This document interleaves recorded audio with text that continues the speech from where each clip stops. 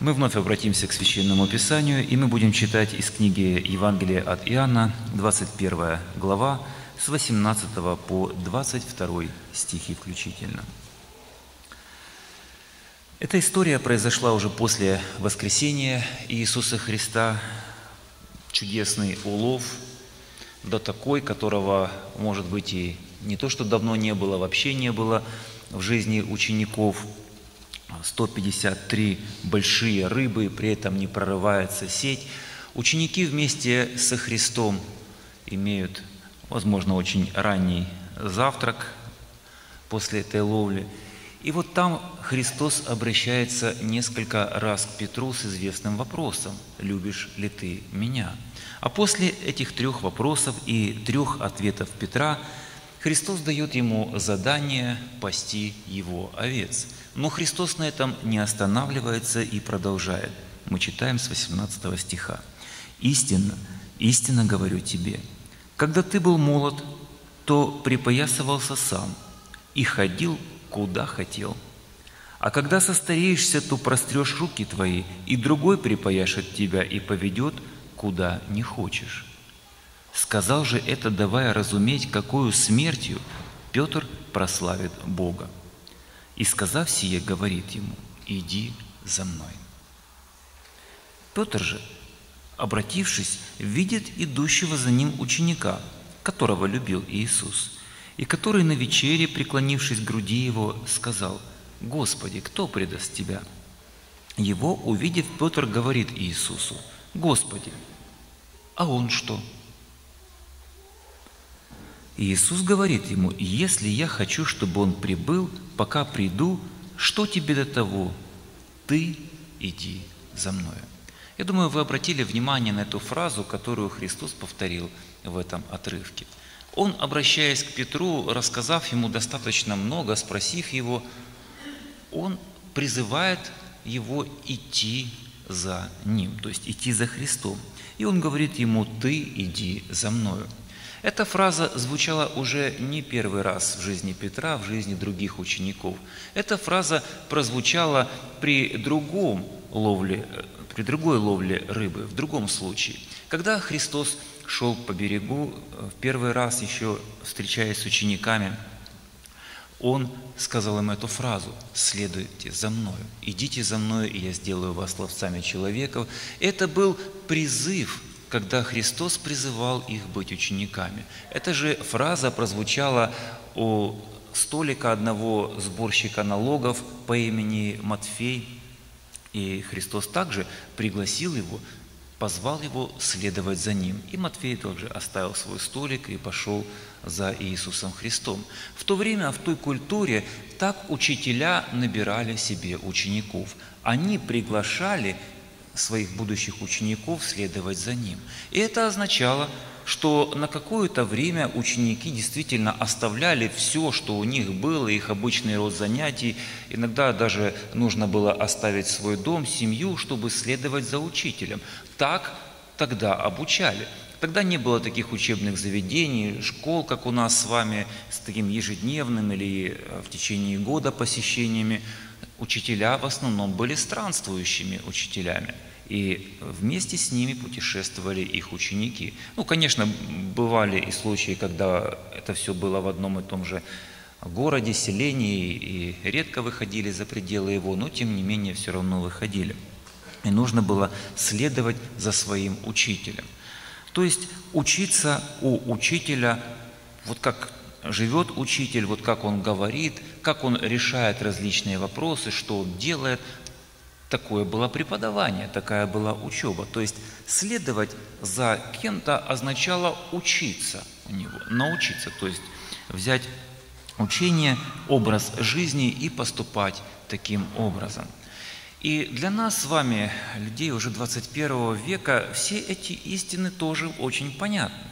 Сегодня эти же слова Христа уже обращены не к первым его ученикам, а к нам с вами ученикам Христа. Христос призывает каждого человека следовать за Ним, идти за Ним, учиться у Него и жить по этому Христовому учению. И многие из нас, сидящих в этом зале, уже ответили на этот призыв Христа следовать за Ним. И мы пошли. Мы идем за Христом. Идем, как мы выражаемся, образно, конечно же, но тем не менее это имеет большой смысл для нас. Мы живем, как бы жил Христос, находясь на нашем месте. Мы читаем слова Священного Писания, мы изучаем, вникаем в учение Христова, и мы стараемся жить так, как жил, и так, как учил наш с вами Учитель Иисус Христос. И мы с вами понимаем, что, наверное, нет прекраснее жизни, чем жизнь, похожая на жизнь Христа. Нет лучшего учения, нет мудрее истин, чем те, которые изложены в Священном Писании, чем тому, чему учил Христос. И мы с радостью следуем за Христом. Но бывает так, дорогие друзья, что нам становится на этом жизненном пути иногда скучновато – ну, как-то уже обыденным становится вот это ежедневное чтение Священного Писания или регулярное посещение богослужений. Ну, иногда трудновато становится участвовать в служении постоянно, с верностью. Ну, может, уже пора кому-то и другому этим заняться, а мне, может быть, как-то пора отдохнуть. Дорогие братья и сестры, еще рано. Еще не закончился наш с вами христианский путь. Он еще в процессе. Мы еще идем за Христом. Конечно же, если мы продолжаем иметь это желание следовать за нашим Господом. Бывает так, что мы с вами начинаем слушать каких-то других учителей. И это очень опасно. Другой учитель поведет совсем по другой дороге.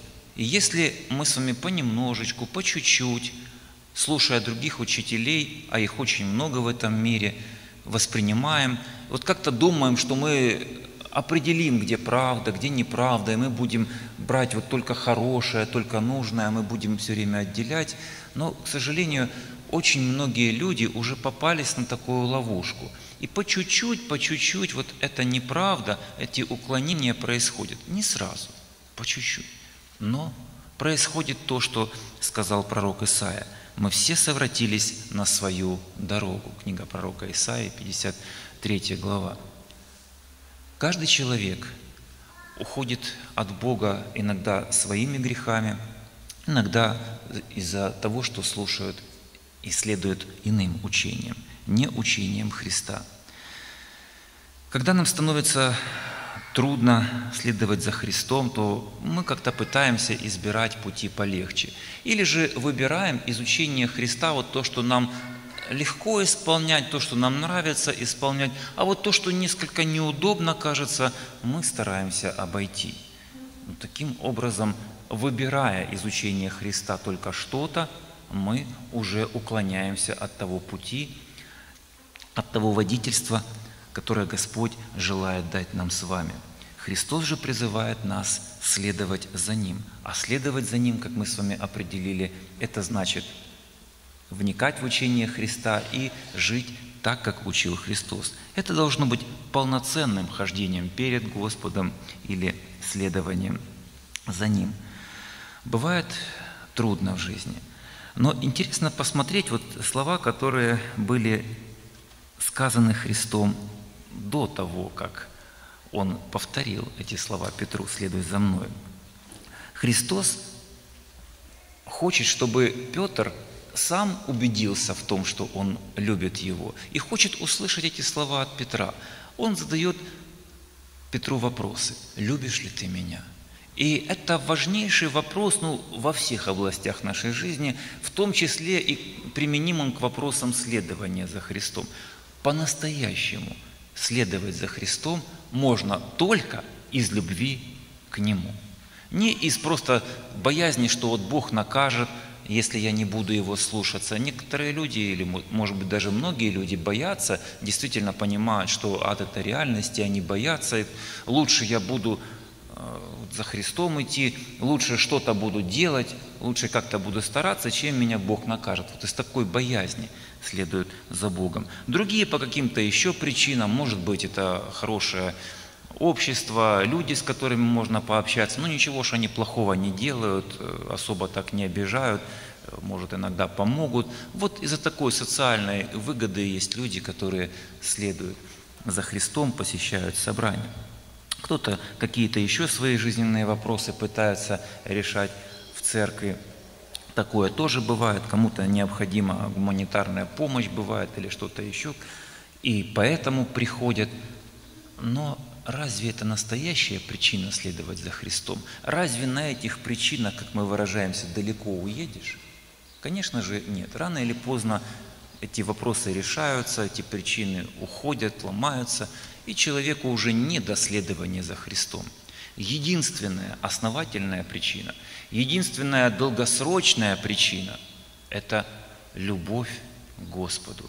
И вот здесь, братья и сестры, нам снова и снова необходима проверка. Действительно ли вот моя любовь к Богу не угасла? Действительно ли, ли я не ослабел в своих отношениях со Христом? Действительно ли я по-настоящему продолжаю следовать за Ним. Как я уже избрал этот жизненный путь следования за Христом раньше, когда пришел к Господу, покаялся, вот какие-то годы своей жизни шел за Христом. А сейчас? Действительно ли я твердо, уверенно иду за своим Господом? Действительно ли я иду с желанием за Христом? Действительно ли я иду так, точно, как это должно быть глядя на учение Иисуса Христа. Очень важные вопросы для нашей жизни.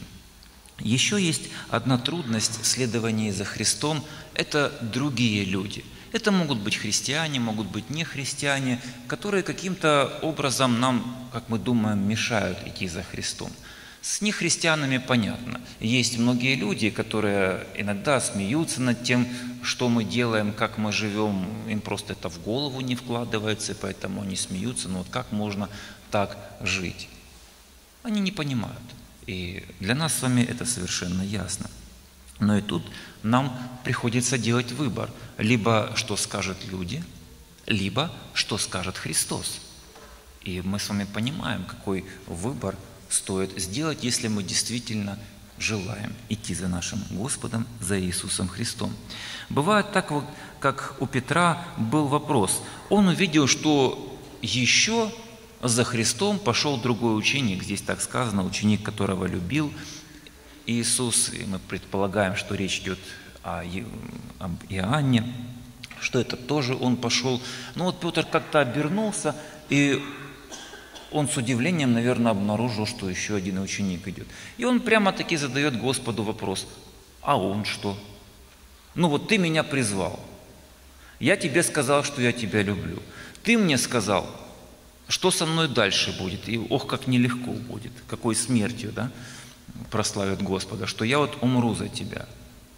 А, а его я не слышал, чтобы ты призывал, а про него, вот, что ему придется вот так пострадать, тоже не было сказано. Господи, а он что? А он что тут делает, другими словами? И вот здесь проблема на самом-то деле не в других учениках, которые следуют, или там по какому праву они это делают, как они поступают правильно или неправильно. Христос обращает внимание на то, что лично у Петра в сердце. Он говорит, если я решил, что это будет так, если я так хочу, что тебе до того? Твоя задача, и Христос снова подчеркивает, ты иди за мною. И, дорогие братья и сестры, хотя, конечно, влияют на нас другие люди, но тем не менее, самое важное при этом остается то наше направление, куда мы смотрим. Мы смотрим вокруг, на то, что делает этот мир. Мы смотрим ли вокруг, что делают другие христиане, как они себя ведут правильно или неправильно. Или все-таки наш с вами взгляд направлен на Христа – чтобы нам не потерять Его из виду за всеми теми делами, которые делают другие люди. Если мы хотим твердо идти за Христом, если мы хотим по-настоящему идти за Христом, не как-то вправо, влево уходить от Его пути. Нам таки нужно смотреть на Него. А это значит, что мы с вами продолжаем вникать в Его Слово, в Его учение. Это значит, что мы с вами, любя нашего Господа, как бы сложно, как бы трудно, как бы не отвлекало нас с вами что-то или кто-то, еще мы продолжаем идти за Христом, мы продолжаем жить по Его учению. Итак, сегодня вместе с Петром мы с вами тоже слышим этот призыв, сказанный Христом мне, вам, каждому сердцу. Ты иди за мной. И здесь нам с вами вопрос, хотим ли мы это делать, любим ли мы с вами Христа, э, Христа, пойдем ли мы за Ним, не уклоняясь никуда. Аминь. Мы будем молиться.